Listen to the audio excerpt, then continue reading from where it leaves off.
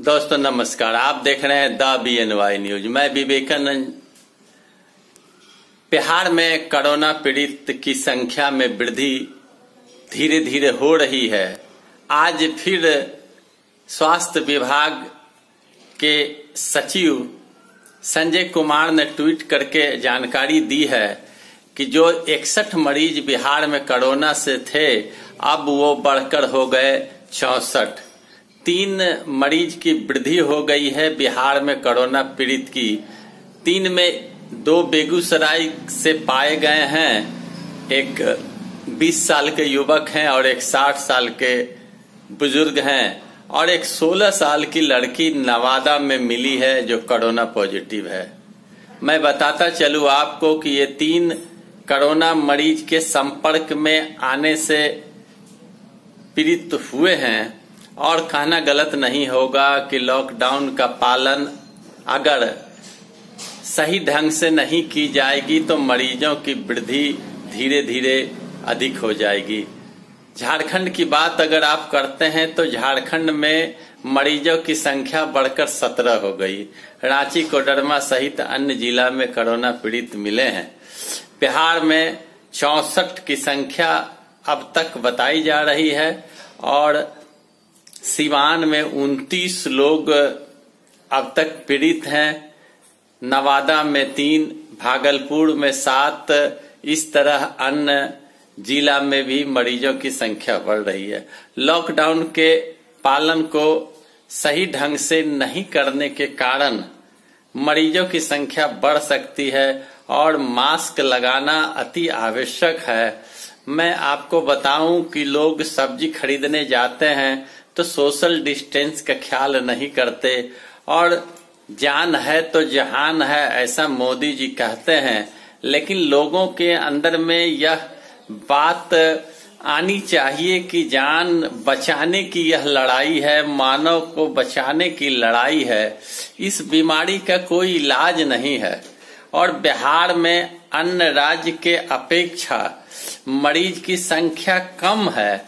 अगर हम लॉकडाउन का पालन नहीं करते हैं तो मरीजों की संख्या बढ़ जाएगी।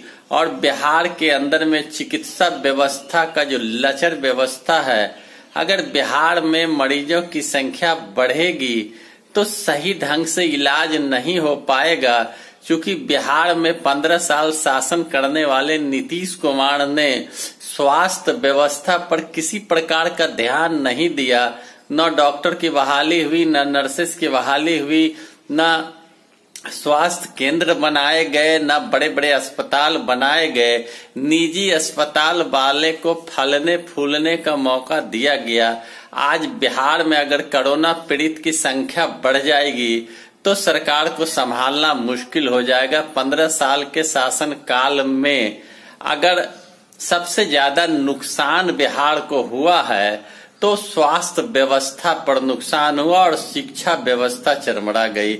इसलिए दोस्तों, मेरा अपील है कि आप घरों में रहें लॉकडाउन डाउन का पालन करें सोशल डिस्टेंस का ख्याल रखें, लोगों से दूरी बनाकर मिले जुले काम हो तो ही घर से निकलें। मरीजों की संख्या अन्य राज्य के अपेक्षा कम है, लेकिन धीरे धीरे बढ़ रही है। आपकी समझदारी आपकी सुरक्षा कर सकती है।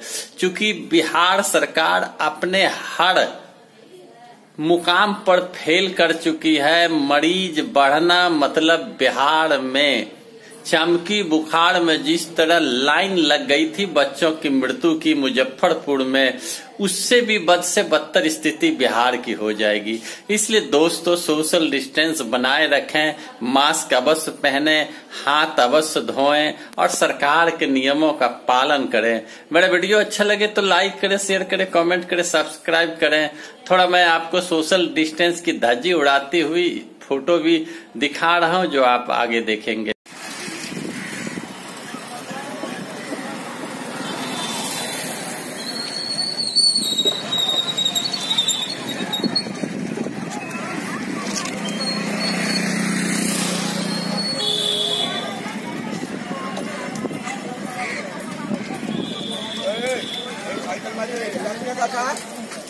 जानता है कोई ज्ञान नहीं है।